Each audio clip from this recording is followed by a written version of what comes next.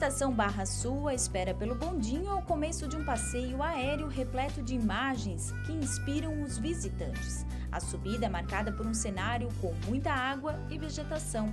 É a orla de Balneário Camboriú, a Mata Atlântica e o Rio Camboriú que surgem diante dos olhos a cada metro de distância percorrida durante a subida.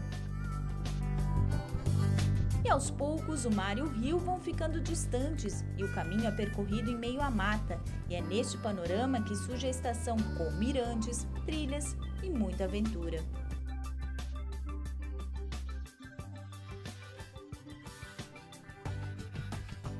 A trilha é composta por passarelas e uma escada com 80 degraus de descida e 127 de subida é a passagem para chegar ao primeiro mirante.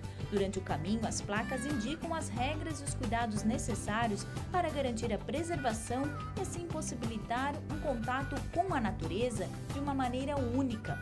Uma característica que há 10 anos instiga o desejo de Sônia a voltar para ver o mar desta maneira.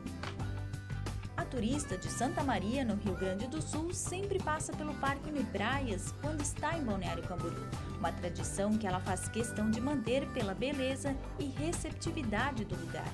É uma opção de turismo muito bonita, muito interessante. A cada ano que a gente vem, a gente se surpreende mais com o lugar. É um lugar maravilhoso, lindíssimo, um privilégio ter esse lugar para visitar e também porque é muito, é, o pessoal é muito caprichoso, eles têm um cuidado todo especial com o local. A gente não encontra lixo, não encontra nada quebrado, nada estragado, enfim, é um paraíso. E essa passagem pelas belezas naturais também faz parte da história da Maria. A paraguaia de Assunção visita o litoral desde criança e este ano voltou com as irmãs e não deixou de passar pelo parque e ter a oportunidade de apreciar do mirante o que considera o melhor atrativo da região. A praia, a vista, a vegetação. E para garantir que toda esta beleza natural possa fazer parte das lembranças das férias no Brasil, as irmãs não desperdiçavam nenhuma oportunidade de fotografar os diferentes ângulos da paisagem. Afinal, há muito que ver, muito que mirar, muita riqueza natural. E para manter esta riqueza natural e preservar o espaço, os visitantes devem respeitar as regras da convivência, como não jogar lixo no chão. Além disso, a administração do parque também tem uma série de cuidados. Como o parque justamente é em meio à natureza, em meio à Mata Atlântica, área de preservação, é, a nossa, a nossa empresa tem um grande cuidado com a natureza em si. Os funcionários estão preparados para é, reciclagem do lixo, é, preservação dos caminhos. Toda, toda a trilha feita há 13 anos no parque foi um estudo para causar o menos impacto possível para o meio ambiente. E ao longo do caminho é possível perceber este cuidado com a preservação do espaço.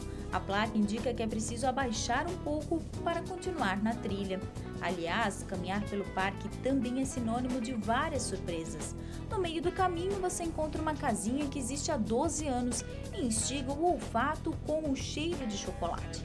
Um lugar inusitado que desperta a curiosidade do visitante ela foi não estrategicamente montada, né? Mas assim, ela foi montada no meio da mata para ser uma casa de chocolate, onde no começo era a casa do Papai Noel, depois se tornou com o tempo no, no ano a casa do chocolate. O ano inteiro ela se torna a Casa do Chocolate e no final do ano ela se torna a Casa do Papai Noel. E ela vem numa estratégia de o pessoal vir no meio da trilha e encontrar uma coisa que não não vai se, é, vai se surpreender com aquilo. E é aqui que você tem a oportunidade de repor energia com o chocolate gelado. Uma receita que une chocolate em pó, sorvete, marshmallow, barrinha e cobertura de chocolate. Uma delícia e uma perdição para os apreciadores da iguaria.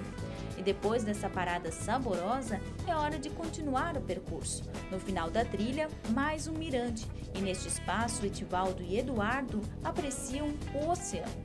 A família de Rondonópolis, no Mato Grosso. E as novidades são tantas que o pequeno Eduardo, de 5 anos, faz uma certa confusão com a denominação das águas na hora de destacar o que mais gostou do passeio. O rio. O menino gostou, na verdade, do mar, mas disse que era o rio. Enquanto isso, o pai permanecia encantado com a maneira como chegou até a estação. Nós gostamos do teleférico, a gente mais gostou. E com tanta natureza ao redor, quem sabe é hora de investir na aventura.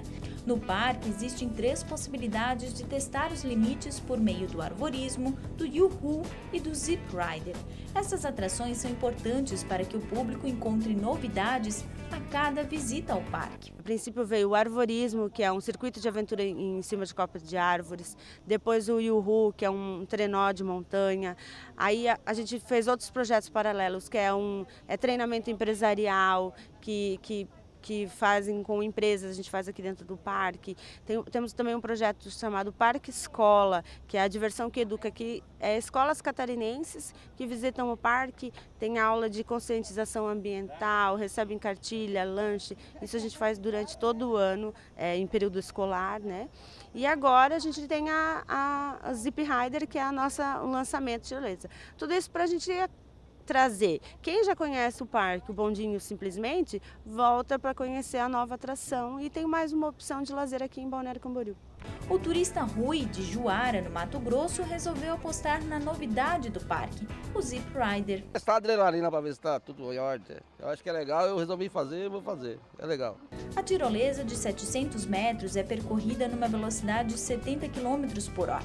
E depois de abrir o portão, um desejo de boa sorte Bom passeio para vocês, galera. Valeu. E é hora de se entregar à adrenalina.